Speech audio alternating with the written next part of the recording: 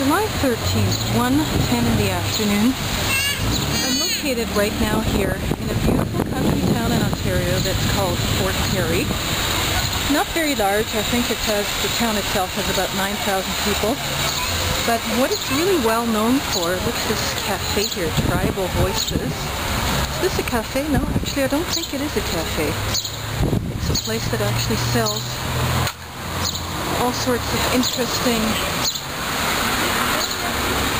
merchandise from other countries, teak bar stools, interesting oriental lamps, all that type of stuff. And uh, it's a very, very popular town. See here is Francesco's Ristorante, which was actually recommended to me. And it's a great uh, local getaway destination for people from Toronto. It's actually only about 80 kilometers or less than an hour away from Toronto. And what makes it unique is the Victorian architecture that has been so beautifully preserved here. And there are many specialty stores and boutiques in this town. F.W. Brock and Son. Uh, here is a beautiful storefront here on the north side. Sorry. and uh, you can see, I mean, the Victorian storefronts are still very, very nicely preserved. And it's just a perfect getaway uh, from Toronto, uh, especially in times like now where gas prices have become so expensive. It, um, it has become, oh, look at this here, Queen Street Commons.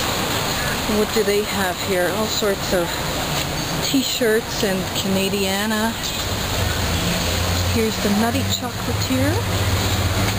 Obviously a popular local place with all sorts of interesting sweet merchandise.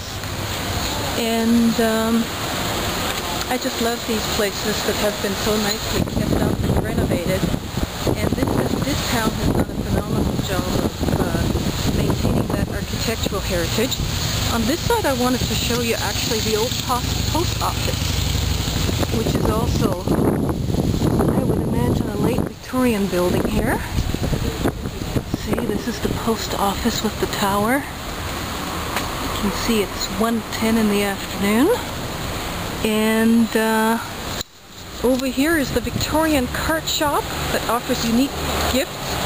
And right next to it is Luke's Country Store.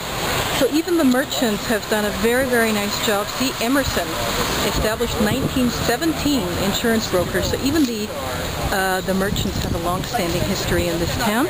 I'll show you the other side of town in just a minute. Port Perry, Ontario.